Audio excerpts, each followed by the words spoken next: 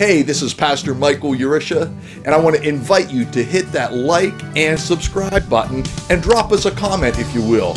Don't forget to hit the notification bell so you receive all of our updates.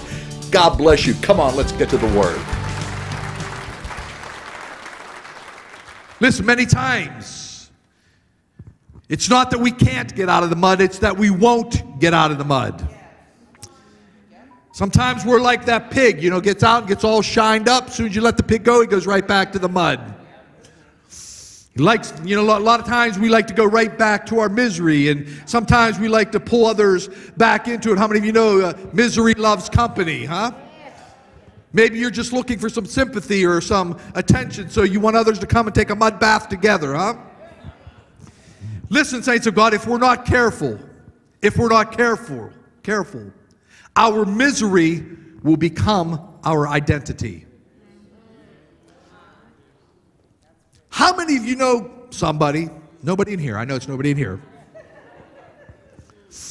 But as soon as their name is mentioned to you, you think, oh, you mean that one that's always nasty, that's always negative, that never has anything, because that became a part of their identity.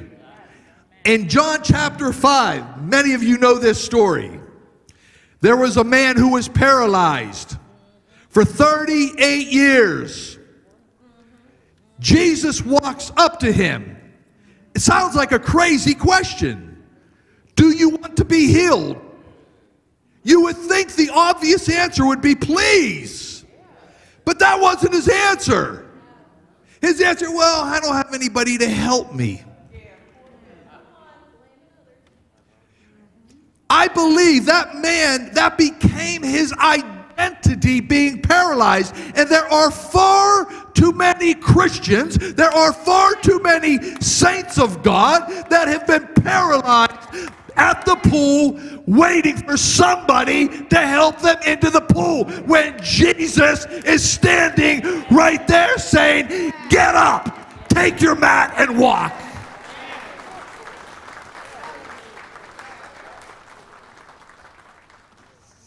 If the devil can keep you bound up in unforgiveness or that root of bitterness, if he can keep that alive in you, you will never live in the abundant life that Jesus has provided for you.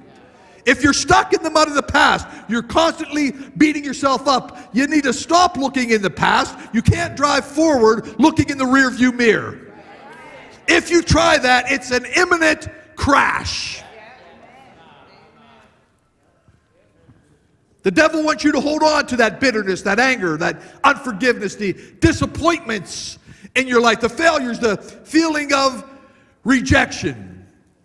Let me share just a quick testimony with you. When I was first saved, as many of you know, I was when I got saved, I got delivered immediately. I mean, I was just set on fire for the Lord, and I just became a zealot. And everywhere I went, I preached. You know, I was thrown out of bars and the whole bit. I've told that story before. But one morning, sitting across from my mother, I was hammering her with the gospel. So she regurgitated on me. And she said these words to me You were a mistake.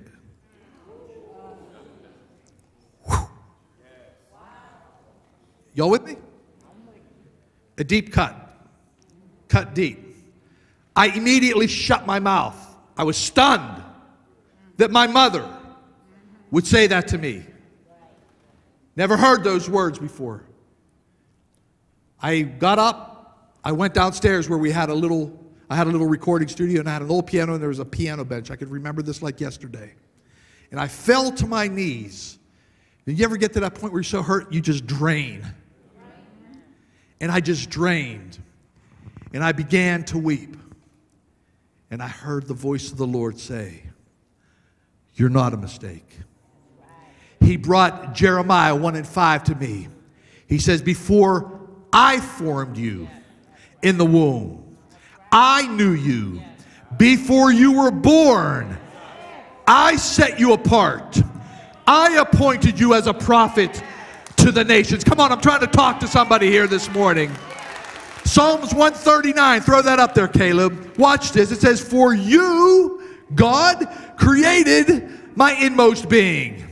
You knitted me together in my mother's womb. I praise you because I am fearfully and wonderfully made. Your works are wonderful, and I know that full well. If you're here today and know that God has created you in His image, come on, somebody give Him a praise in the house of the Lord.